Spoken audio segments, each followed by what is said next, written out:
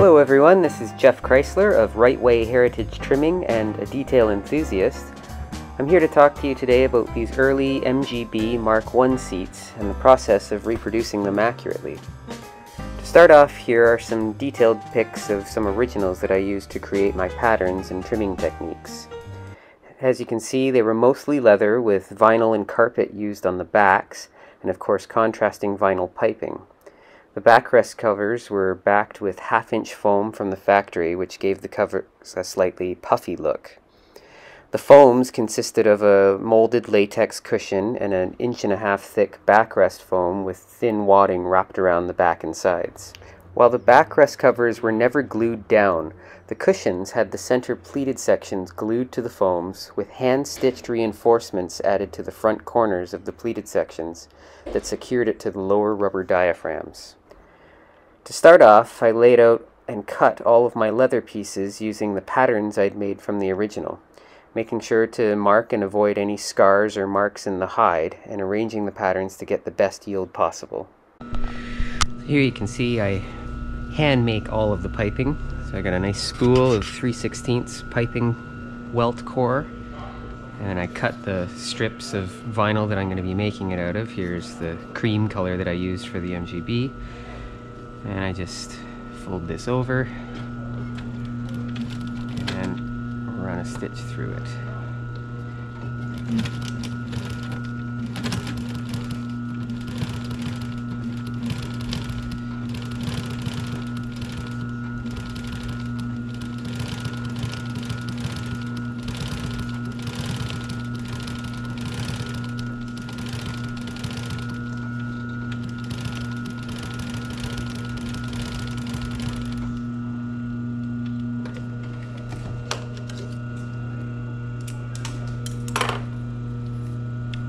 Voila.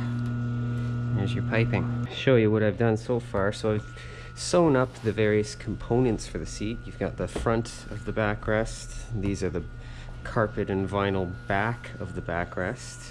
Of course this is all leather with the vinyl piping. Um, here's the cushion faces all sewn up nicely. Again I've backed them with foam just so that they get a nice smooth look when you trim them this is the cushion skirts that I now have to sew around the perimeter here, and they're handed left and right. Uh, the inside, they did it in two panels.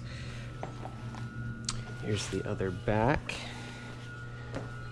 And of course, this is the skirt that joins the back and the front of the backrest, so that'll sew onto there. And you can see with all of these patterns, you've always got to make a series of lineup marks so that it joins up in the correct spot. So here's lineup mark here that joins up to that's the center line right there. So when I do these, I make them up, line up the lineup mark, use my trusty stapler. These, these staplers are invaluable for trimmers who are, or for upholsterers who are making up covers like this because see that one goes with the piping. Um, I usually like to just grab my scissors here. When you're floating over a seam like that, you want to lessen that seam as much as possible so that you're not going to have a bunch of gather. You can see I do that and trim off the edge of the piping just like that. Now with a lot of these pipings, I actually core out the center, so again, so it doesn't create a lump. So these things can pass over each other. Whenever you're joining piping like that, it's a good thing to do. So I'll get it, go ahead and do that to those pieces of piping as well. So here you can see I've been, I'm starting to join up the backrest skirt with the front face first. And of course, I'm following lineup marks that are in my patterns that I had created so that you can make sure it all lines up exactly where it's supposed to go.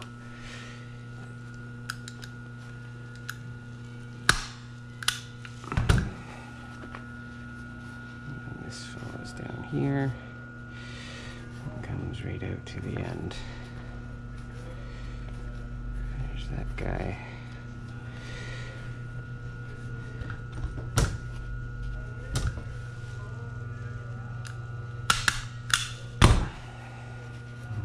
Goes right out to the end. Right there. So now this is ready to sew.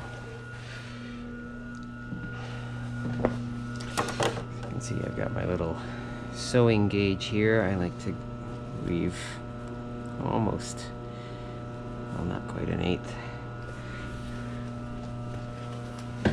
Um, see, if I was right up against the shoulder here like that, that would be a standard 3 8 seam allowance. Um, but I like to do a little bit more when I'm sewing with piping um, because I want it to be nice and tight around the piping. I don't want to be able to look in and see the stitching, you know, these are nice and tight there, you know, so.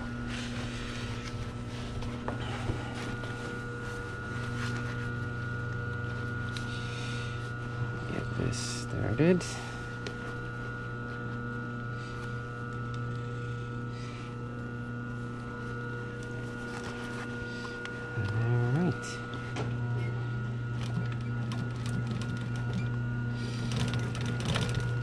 I normally do a uh, start stitch there, but because I'll probably do be doing two passes with this, I didn't do it here.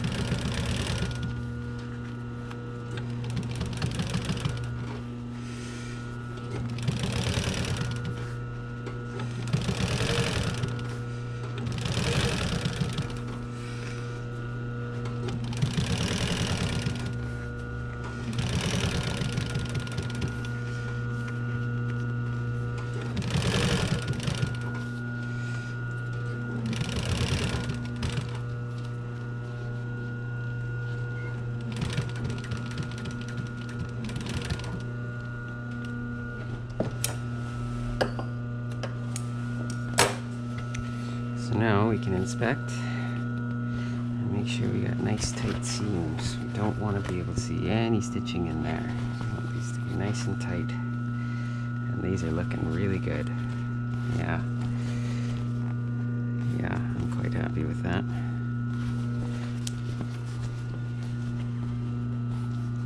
Very nice. Nice tight seams, that's what you want to see.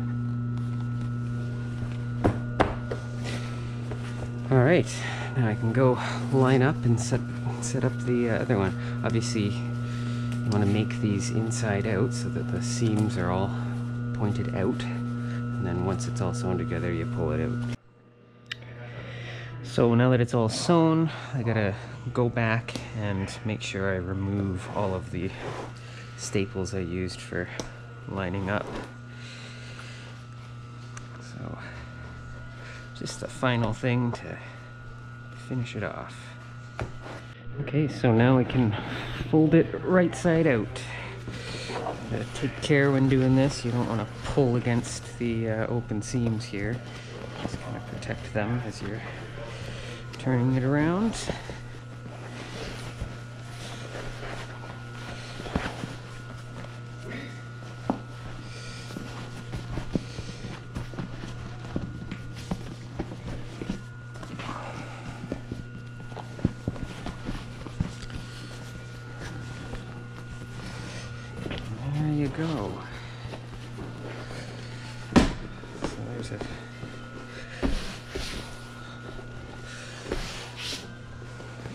Pair of finished covers ready to be trimmed to the car.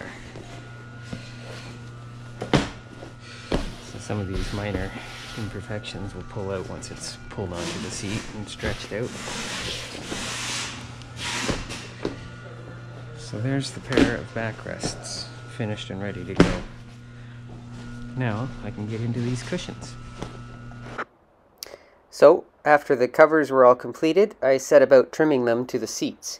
In this case, I decided to reuse the original foams as they were still in really great shape, but I've also used new ones as well. The backrest covers just pull over and are secured with staples along the bottom edge, while the cushion covers are glued in place and then the skirts are pulled around and clipped to the frame rails with these special little C-clips. And there you have it, some beautifully finished leather MGB seats made exactly as original. If you like what you see and you'd like some for your MG, I'd be happy to make you some in any color you like. Just contact me through my website, rightwayheritagetrim.com. Until next time, I'm Geoff Chrysler.